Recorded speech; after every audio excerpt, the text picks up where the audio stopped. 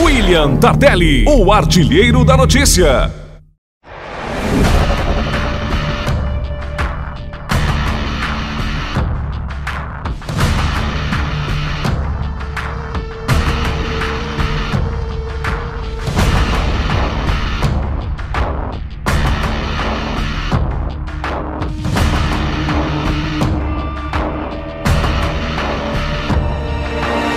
Tenente Monar, como é que foi a ação da Polícia Militar, mais uma vez empenhada no combate à criminalidade em nossa cidade e nessa onda de assalto que vem acontecendo em Araxá, dessa vez a Polícia Militar logrou êxito e apreendeu um indivíduo e também recuperou parte do dinheiro?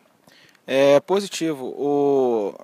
Primeiramente, boa noite aí, né? E foi o seguinte, nós tivemos a chamada no, no Copom, é, falando que tinha um, um assalto em andamento nessa farmácia. Deslocamos para o local e lá recebemos a informação de que eram dois indivíduos que tinham é, possivelmente tinham se homiziado no meio do mato.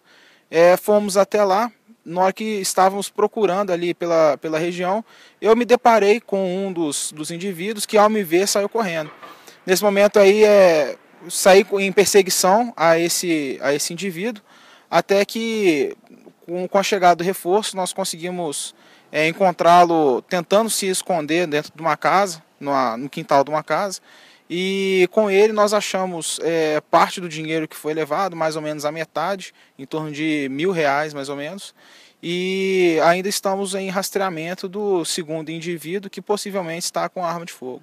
Pelo que a gente viu também, ele já, o primeiro autor preso aqui, já falou que tem um outro parceiro na jogada, já mostrou até a residência dele, né? Eu acompanhei o trabalho da Polícia Militar junto à residência, então também tem esse autor também, a arma agora também, o objetivo da Polícia Militar é localizar a arma, tenente. É, sim, com certeza. É localizar a arma e o segundo autor, né? É, a gente sabe aí que é bem possível que ele venha a se envolver em outra ação delituosa do mesmo, da mesma natureza. Então, para evitar isso daí, para e para acabar com essa sensação de impunidade aí, nós vamos rastrear e com certeza vamos acabar encontrando ele junto com a arma e o restante do dinheiro. Tenente Monar, a gente vem acompanhando o trabalho do senhor juntamente com o pessoal da 183 CIA, 270 CIA, enfim, né, todo o pessoal do 37º Batalhão de Polícia Militar aqui em Araxá. E uma coisa interessante que vem sendo implantada em Araxá é a rede de vizinhos de comerciantes protegidos, né? É, qual é a recomendação que o senhor passa aí para para o comerciante. Eu até observei uma coisa interessante nesse comércio que foi vítima desse assalto, um, um volume até maior né, de, de retirada de dinheiro no momento do assalto. Qual é a dica que a Polícia Militar passa aí aos comerciantes de Araxá? Bom, são dicas realmente é importantes, até bom você ter falado nisso, Tardelli, que são dicas é, realmente importantes. São pequenas ações que os comerciantes devem fazer. Nessa rede de comércios protegidos, nós orientamos os comerciantes de como proceder, damos algumas dicas de segurança, inclusive uma, algumas, uma dessas dicas, principalmente para esse período natalino, é o pessoal investir na questão de vídeo monitoramento, que esse comércio, pela, pelas câmeras, é, foi possível visualizar o autor, então isso ajudou muito a gente, ajuda muito a gente.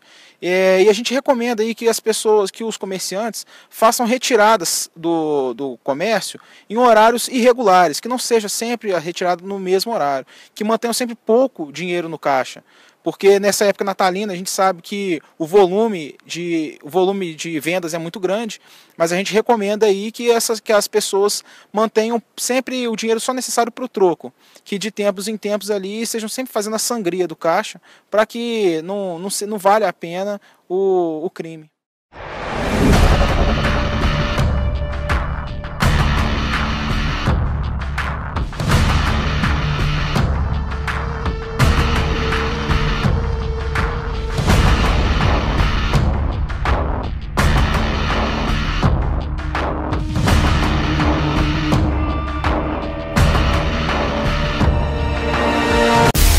William Tardelli, o artilheiro da notícia.